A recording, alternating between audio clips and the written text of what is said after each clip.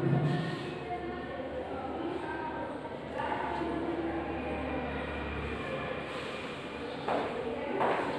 student good morning to all आज जो है बेटा आपका एट क्लास में स्वागत है। तो बेटा आज मैं जो है आपको ये बताना चाहूँगी कि आज का टॉपिक यानी कि आज का टॉपिक है हमारा लेसन 14 जो आपकी टेक्स्ट बुक यानी कि बसंत में है। तो लेसन 40 में जो है, कल मैंने आपको उसका पाठ का सार बताया था।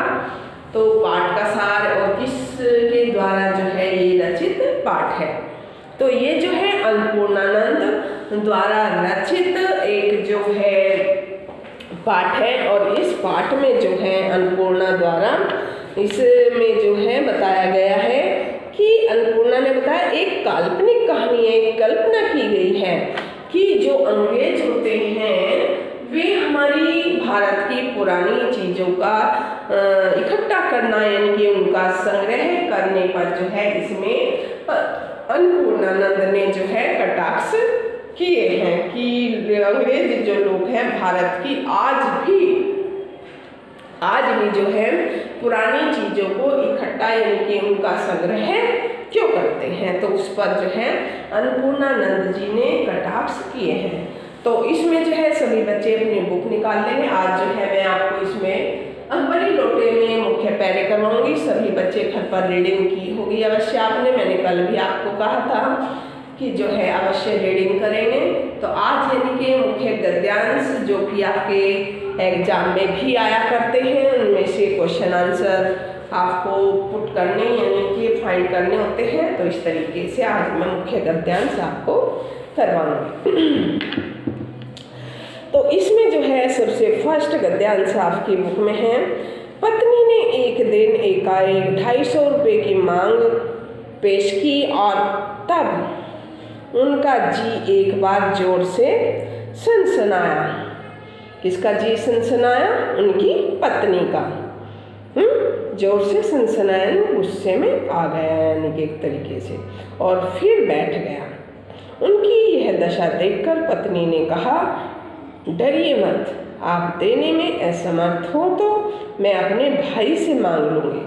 लाला झाऊलाल जो है तिल मिला उठा, यानी कि गुस्से में हो उठा। गुस्सा आ गया उनको तिल मिलाना, यानी कि गुस्सा आ गया किसको? लाला झाऊलाल को। उन्होंने रोब से के साथ जो है कहा, अजी हटो। ढाई सौ रुपये के लिए भाई से भीख मांगोगी, मुझसे ले लेना। हुँ? किसने कहा था ये? झाऊलाल ने अपनी पत्नी को कहा था। तो अब जो है इसके डिटेल्स एक तरीके से व्याख्या मैं इसको बताऊँगी। आप जो अपने शब्दों में आंसर देते हैं उसके डिटेल्स तो इसमें बेटा लाला झाऊलाल पैसे के मामले में तो बहुत ही कंजूस व्यक्ति थे। आपको भी पता है, जैसे आपने पढ़ा। हुँ?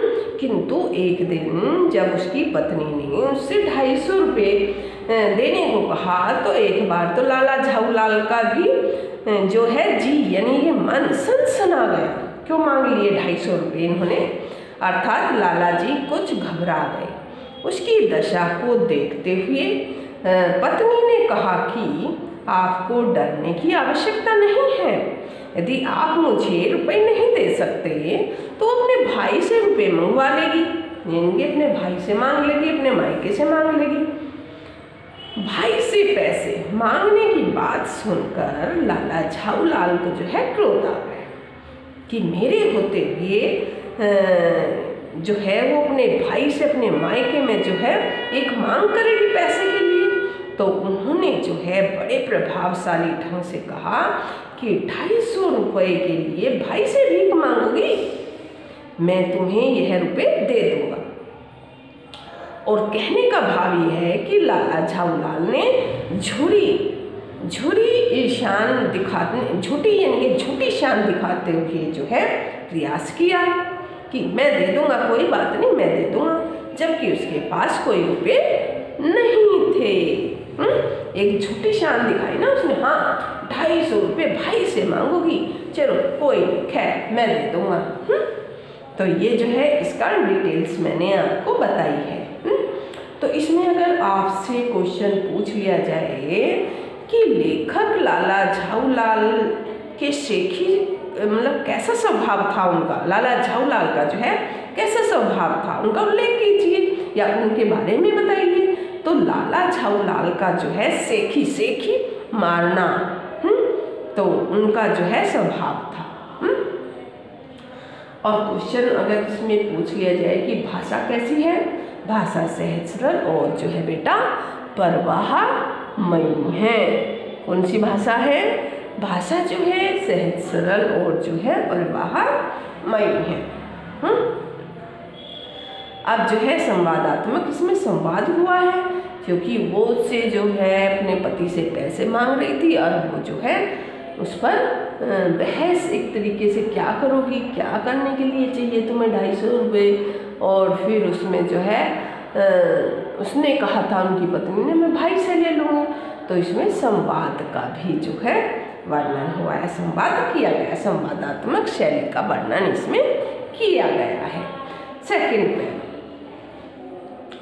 प्रश्न अपनी प्रतिष्ठा का था, अपने ही घर में अपनी शाख का था और देने का पक्का वादा करके अगर जब दे न सके तो अपने मन में वह क्या सोचेगी?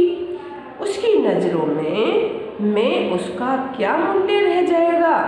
उसकी नज़रों में, यानी कि मैं उसका जो है क्या मूल्य रह जाएगा? अपनी वाहवाही की सैकड़ों गाथाएँ सुना चुके थे। अब तो एक काम, बड़ा तो पड़ा तो चारों खाने चित हो रही हैं। कौन? झाऊलाल। तो यह पहली बार उसने मुँह खोलकर कुछ रुपयों का जो है सवाल किया था उसकी पत्नी ने। इस समय अगर तुम दबाकर, क्या?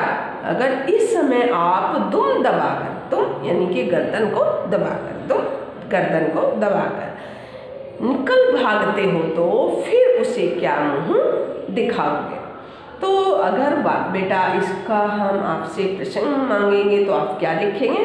कि प्रस्तुत पद पंक्तियाँ जो है हमारी हिंदी की पाठ्य पुस्तक बसंत भाग तीन में संकलित है संकलित अकबरी लोटा नामक पाठ से ली गई है। और इसके लेखक श्री अन्नपूर्णानंद वर्मा जी हैं। अगर संदर्भ पूछ लिया जाए संदर्भ यानी कि शॉर्ट नोटिस की मुख्य पैरे में किसके बारे में क्या वर्णन है? एक लाइन में उत्तर दे दीजिए।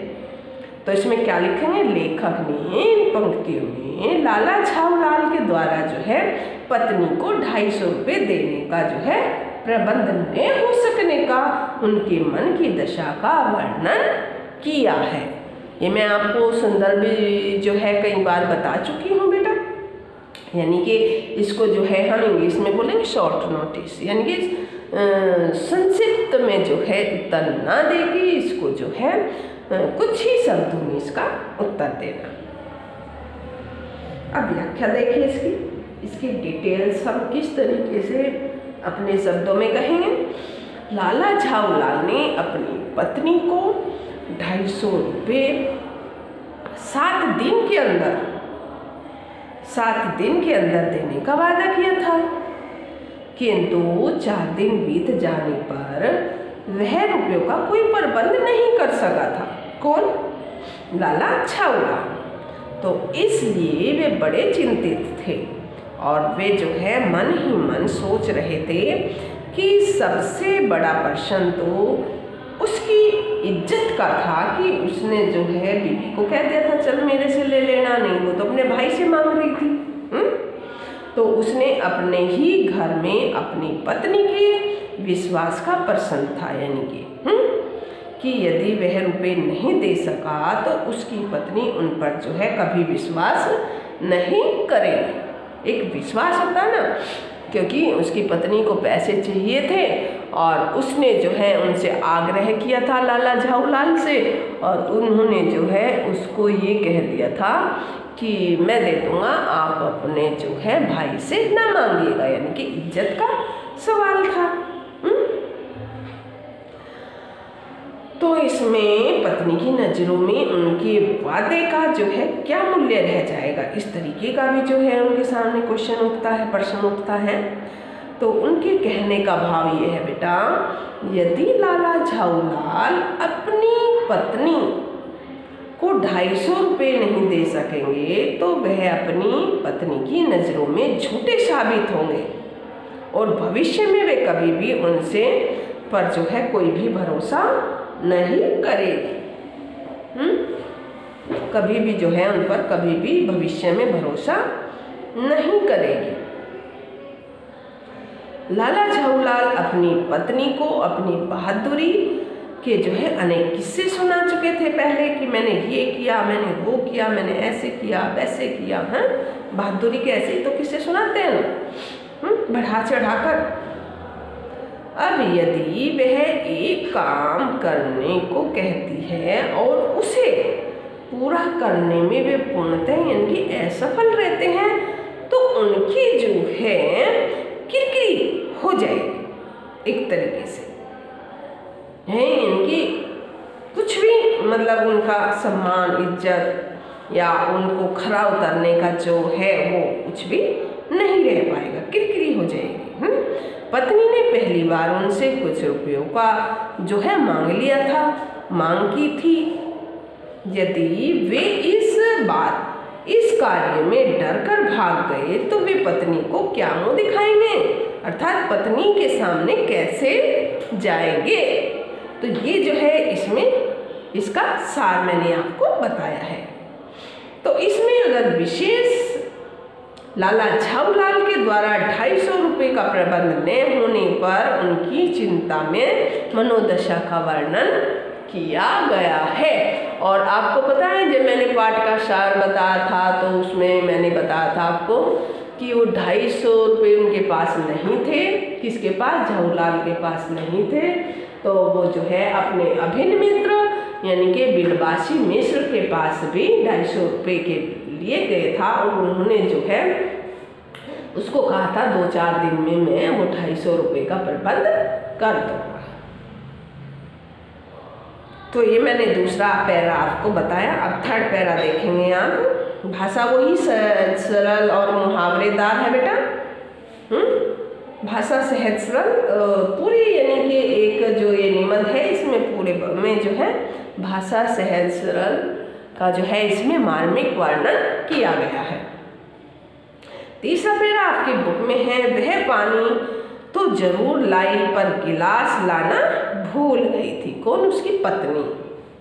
केवल लोटे में पानी लिए वह प्रकट हुई, यानी कि उनके सामने आई, और फिर भी लोटा जो है संयोग से वह जो अपनी बेढंगी सूरत के कारण लाला झाऊलाल को यानी कि सदा से नापसंद था, जो लोटा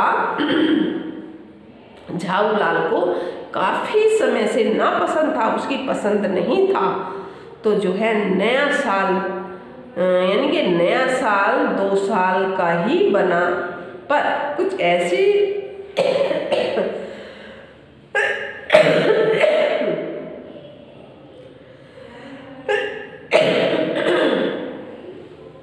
सॉरी झाऊलाल को सदा से जो नापसंद था लोटा, बहुत पुराना लोटा था। या तो नया, साल दो साल का ही नहीं, ही बना, पर कुछ ऐसी गढ़न जो है उस लोटे की थी कि उसका जो है बाप डमरू भी चिलम रही हो। डमरू भी, यानी कि डमरू चिलम रही, एक तरीके से। अब मैं इसका बताऊँगी आपको क्या कहना चाहता है लेखक। लेखक ने बताया कि लाला झाऊलाल रुपयों की जो है चिंता में मकान की छत पर टहल रहे थे, क्योंकि उन्होंने जो है अपने मित्र विलवासी जी को कहा था कि जो है रुपये का प्रबंध करे। तो उसकी चिंता में जो है अपने छत की छत पर जो है टहल रहे थे विलवासी को।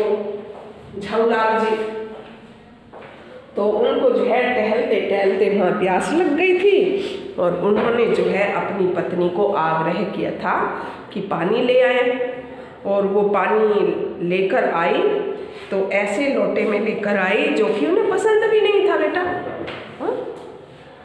और उसके साथ जो है पानी पीने का गिलास वो नहीं लेकर आई अब जब गिलास नहीं होगा तो पानी कैसे पिया जाएगा हुँ? हुँ? गिलास जो है वो भूल गई थी। और वह तो लोटे में ही पानी ले आई थी। और कैसा लोटा था ये भी आपको बताया मैंने। वो बेढंगा लोटा था। कैसा लोटा था? यानी कि बेढंगा। काफ़ी दिन हो गए थे उसको साफ़ करे हुए हुँ? तो वह तो लोटे में ही पानी ले आई। और वह लोटा भी पुराना। वो लोटा जिसमें पानी लेकर आई वो लोटा कैसा था? यानी कि वो लोटा भी बहुत पुराना था। हुँ? तो इसमें पुराना लोटा होने के कारण वह चारों ओर से दबा हुआ और जो है भट्टा था। यानी कि उसमें एक फुट्टा यानी कि फूटा हुआ, यानी कि उसमें गिर जाता है तो उसमें जो है एक तरीके से दाग हो जाते हैं। उस लोटे को देखते ही लाला झाऊलाल को और गुस्सा आ जाता है कि घर में यही लोटा मिला कि मेरे को पानी देने के लिए। तो जैसे लाला झाऊलाल उस लोटे में पानी पीते हैं तो गिलास भी साथ में, क्योंकि पत्नी को भी पैसे नहीं मिले थे दो तीन दिन हो गए थे पैसे ना मिलने के कारण। तो उस, उनका मन भी जो है रूखा था और ऐसे लोटे में वो, यानी कि अपनी ना मन के, बिना मन के पानी लेकर आए थे। उस लोटे को देखते ही लाला झाऊलाल को गुस्सा आता है क्योंकि वह लोटे का जरा भी पसंद नहीं करता था और लोटे को जो है, बने हुए अभी मुश्किल से जो है दो वर्ष हुए थे एक तरीके से, किंतु उसकी सूरत जो है बिगड़ गई थी।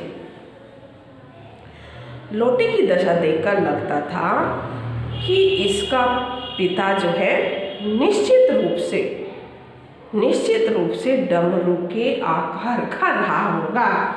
कि लोटे को देखकर जो है, लाला झाऊलाल को ये लगता है कि इसका लोटे का जो पिता है, वो किस आकार का रहा होगा?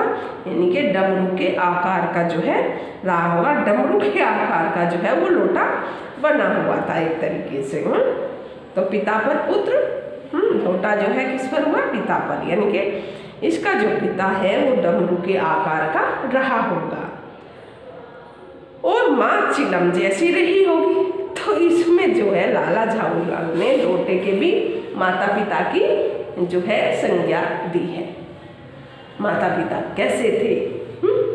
तो उसकी भी संज्ञा का वर्णन किया गया है इसमें कि माता पिता कैसे हैं। कहने का भाव है कि लोटे का आकार कुछ कुछ डमरू जैसा और कुछ कुछ जो है चिलम जैसा था।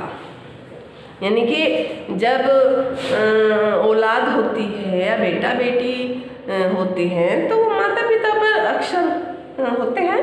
तो माता को जो है चिलम का आकार बताया गया। लाला झाऊलाल ने और पिता को जो है डमरू के आकार का बताया गया। विशेष देना चाहेंगे। लोटे का आकार का वर्णन जो है बड़े व्यंग्य ढंग से इसमें किया गया है। उसकी बुराई करते हुए व्यंग्य ये बुराई आलोचना करते हुए जो है, यहाँ पर लोटे का वर्णन किया गया है। अब बेटा इसमें हम करेंगे फोर्थ पैरा। फोर्थ पैरा है इसमें, लाला झावलाल ने देखा कि इस भीड़ में प्रधान पात्र एक अंग्रेज़ है, जो नक्सी नक्सिक से जो है भिगा हुआ है, क्योंकि वो लोटे से जैसे झवलाल पानी पी रहा था, उसके ऊपर गिर गया था ना पानी, नीचे लोटा गिर गया पहले छज्जे पर गिरा और फिर उसके छज्जे से उसके अंग्रेज़ के ऊपर जो है सारा पानी गिर गया था। और जो अपने एक पैर का हाव से सहलाता हुआ, दूसरे पैर पर जो है नाच रहा है। उसी के पास अपराधी लोटे को भी देखकर जो है लाता, झाऊलाल जी ने फ़ौरन दो और दो जोड़कर स्थिति को समझ लिया। यानी कि जो झाऊलाल जी ने यहाँ पर क्या हो रहा है, अंग्रेज़ क्या ड्रामा कर रहा है, उसने यानी कि दो और दो को जोड़कर समझ लिया। कि क्या ये जो है, एक नाटक एक तरीके से हो रहा है। गिरने से पूर्व, यानी कि गिरने से पहले, लोटा एक दुकान के जो है साइबान से टकराया। दुकान के साइबान से टकराया। और वही टकराकर वही टकराकर उस दुकान पर खड़े। उस अंग्रेज़ को उससे जो है सांगोपांग स्नान कराया। उस लोटे से जो है साइबान एक मैंने यहाँ पर आपको बताया कि साइबान यानी कि छज्जा साइबान होता है छज्जा। और ये शब्द आया सांगोपांग सांगो पांग यानी कि संपूर्ण। सांगोपांग, यानी कि संपूर्ण जो है, स्नान कराया पूरे तरीके से जो है, छज्जे से, जैसे छज्जे पर लोटा गिरा तो वे जो है एक तरीके से वो उलट गया लोटा और उसको जो है, अंग्रेज़ को सांगोपान यानी कि पूर्ण तरीके से, पूरी तरीके से सांगोपान पूरी तरीके से स्नान कराया। फिर उसी से जो है बूट पर आ गया बूट यानी कि जूते पर। फिर बाद में जो है, वही लोटा। वही लोटा जो है, उसके बूट पर आ गया किसके? अंग्रेज़ के। अब लेखक का कथन है इसमें, इसकी व्याख्या, कि लाला झावलाल छत के मुंडेर पर खड़े होकर जो है, लोटे से पानी पी रहे थे। तो उसके हाथ में पानी का लोटा नीचे गिर जाता है और लोटे के गिरते ही गली में शोर मच जाता है। इससे पहले कि झाऊलाल नीचे पहुँचते लोगों की भीड़ और उसके घर में घुस आई थी, लाला झाऊलाल ने देखा कि इस भीड़ में मुख्य पात्र एक अंग्रेज़ है और वह अंग्रेज़ सिर से लेकर पैर तक, यानी कि नाखून तक, पूरी तरीके से भीगा हुआ है। लोटा उनके पैर पर आकर गिरा था। इसलिए चोट लगने के कारण वह अंग्रेज़ पैर को जो है, सहला रहा था कि पैर में चोट लग गई है। और वह हल्का हल्का अपने पैर पर जो है, फुदक भी रहा था, नाच भी रहा था। अपने विवेक और सूझबूझ के आधार पर लाला झाऊलाल जल्दी ही पूरी स्थिति को समझ गए थे।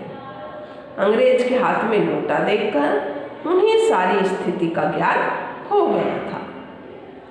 गिरने से पहले लोटा एक दुकान के छज्जे से टकराया और वहाँ उस दुकान पर खड़े एक अंग्रेज़ को जो है पूरी तरीके से स्नान कराया सामोपान कराया और फिर उसके जो है जूते पर आ गया तो इसमें लोटे के गिरने की क्रिया का जो है बेटा वर्णन किया गया है और अंग्रेज़ जो है, अगर उसको चोट लगती तो वो फुदकता कैसे? वो नाचता कैसे? एक तरीके से वो अपना प्रतिक्रिया भी कर रहा था।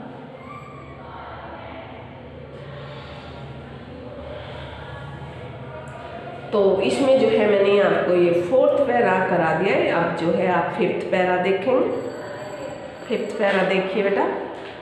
सोलहवीं शताब्दी की बात है। बादशाह हुमायूं जो है शेरशाह से हार कर भागा था और सिंध के रेगिस्तान में यानी कि मारा मारा फिर रहा था। किसके? सिंध के। एक अवसर पर जो है प्यास से उसकी जान निकल गई थी और उस समय एक ब्राह्मण ने लोटे में पानी पिलाकर उसकी जान बचाई थी। हुमायूं के बाद अकबर ने उस ब्राह्मण का पता लगाकर उससे इस लोटे को जो है ले लिया था और उसके बदले में उसे इसी प्रकार के दस सोने के लोटे प्रदान किए। यह लोटा सम्राट अकबर को यानी कि बहुत प्यारा था। इसी से उसका जो है नाम अकबरी लोटा पड़ा और वह बराबर इसी से जो है वजूब करता था। ये है आपका पहला गद्यांश आपकी बुक में। अब मैं इसकी व्याख्या डिटेल्स आपको बताऊँगी। लेखक ने सोलहवीं शताब्दी को जो है एक काल्पनिक घटना का वर्णन करते हुए कहा है। यानी कि कल्पना की है लेखक ने। चाहे वो उसने देखा तो नहीं था लेखक ने उस समय। यानी कि कल्पना की, ऐसा हुआ होगा। अकबर के पिता कौन थे? हुमायूं। हुमायूं, एक बार शेरशाह सूरी से हारकर अपनी जान बचाते हुए रेगिस्तान में भूखे प्यासे भटक रहे थे।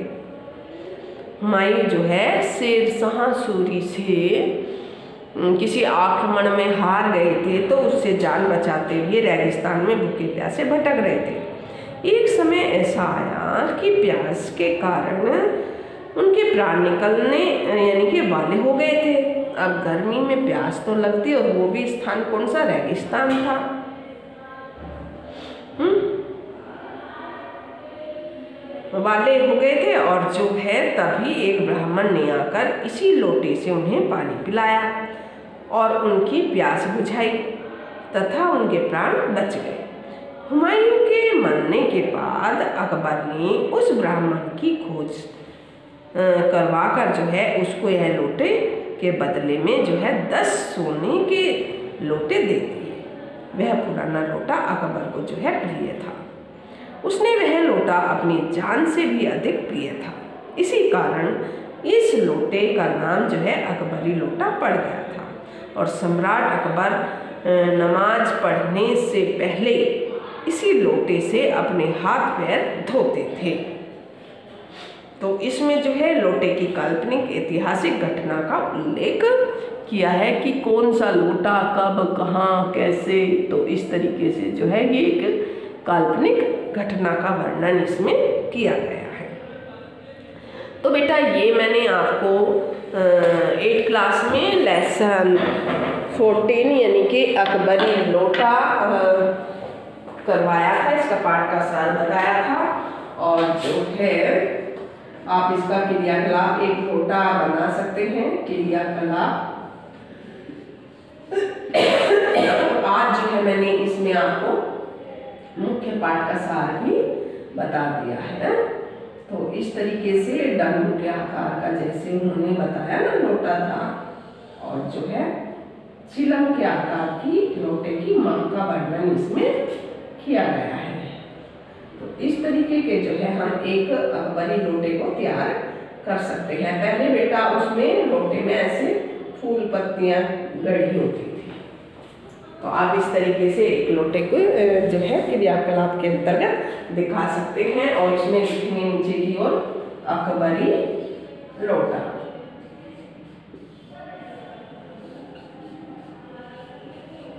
ठीक है?